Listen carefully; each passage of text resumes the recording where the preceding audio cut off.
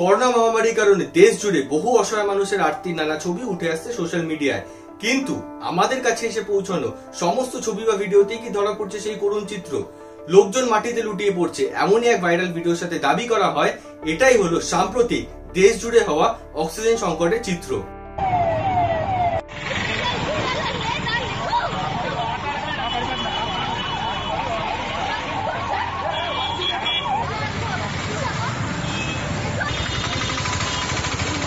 তবে অনুসন্ধানে পরে দেখা যায়, ভিডিওটি আসলে দু হাজার কুড়ি সালে ভাইজাগে হওয়া গ্যাস দুর্ঘটনা বিভিন্ন সংবাদ মাধ্যমের নিউজ রিপোর্টে এলজি পরিবারের কারখানা থেকে গ্যাস লিক হয়ে মানুষের অসুস্থ হওয়ার ঘটনাটি আমাদের চোখে পড়ে।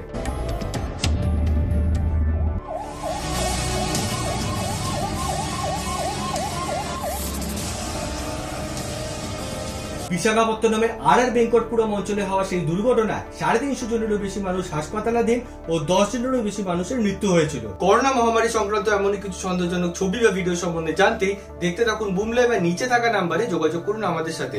মনে রাখবেন, মহামারীর পাশাপাশি আমাদের লড়তে হবে ভুয়ো খবরের সাথেও।